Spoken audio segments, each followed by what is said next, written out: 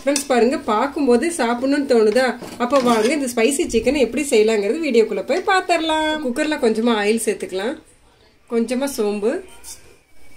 Cut பண்ண வெங்காயத்தை சேர்த்துக்கலாம். வெங்காயம் நல்லா வதங்கட்டும். வெங்காயம் வதங்குற வரைக்கும் நம்ம ஒரு மசாலா ரெடி பண்ணிக்கலாம். மிக்சர் ஜாரில் ரெண்டு பழுத்த தக்காளி சேர்த்துட்டு நாலு வரமிளகாய் சேர்த்துக்கலாம்.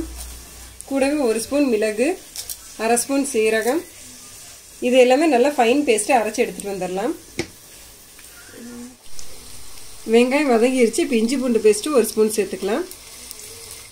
அடுத்து கொஞ்சம் ட்ரை மசாலாலாம் சேர்த்துக்கலாம். ஃபஸ்ட்டு மஞ்சள் தூள் கரம் மசாலா மல்லித்தூள் சீரகத்தூள் கொஞ்சம் கொஞ்சமாக சிக்கன் மசாலா. மசாலா எல்லாம் சேர்த்துனதுக்கப்புறம் ஒரு தடவை கலந்து விட்டுடலாம் அரைச்ச தக்காளி பேஸ்ட்டு சேர்த்துக்கலாம்.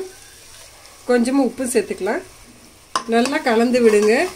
இந்த டிஷ் வந்து ரொம்ப சூப்பராக இருக்கும் ஃப்ரெண்ட்ஸ் நீங்கள் சப்பாத்தி ஒயிட் ரைஸுக்கெல்லாம் தொட்டு சாப்பிடும்போது அல்டிமேட் டேஸ்ட்டாக இருக்கும். நீங்கள் ஒரு தடவை இந்த மாதிரி ட்ரை பண்ணி பாருங்கள் டேஸ்ட் வந்து ரொம்ப தூக்கலாக இருக்கும் ஃப்ரெண்ட்ஸ் கிரேவியில் இந்த பச்சை வாசனையெல்லாம் போயிருச்சு. முக்கால் கிலோ சிக்கன் எடுத்து வச்சுருக்கேன். அது சேர்த்துக்கலாம்.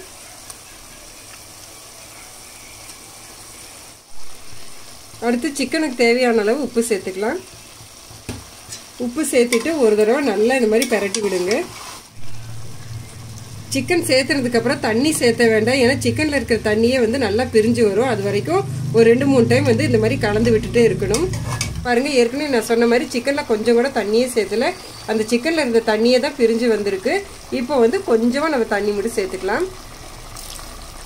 நாலு விசில் வரட்டும். அது வரைக்கும் வெயிட் பண்ணலாம். இப்போ நாலு விசிலுக்கு அப்புறம் குக்கர் ஓப்பன் பண்ணி பார்க்கலாம். பாருங்கள் எவ்வளோ சூப்பராக வந்து கிரேவி ரெடி ஆயிடுச்சுன்னு பாருங்க. இப்போ கடைசியாக ஃப்ரெஷ்ஷான மல்லித்தலையும் புதினாவும் தூவி இறக்குனேன் சுட சுட சூப்பரான ஸ்பைசி சிக்கன் ரெடி ஆயிடுச்சு அப்புறம் என்ன நான் சொல்லி கொடுத்த மெத்தடில் ட்ரை பண்ணி பார்த்துட்டு நம்ம தமிழன் ஃபுட்டி சேனலை மறக்காமல் சப்ஸ்கிரைப் செஞ்சுக்கோங்க. பாய்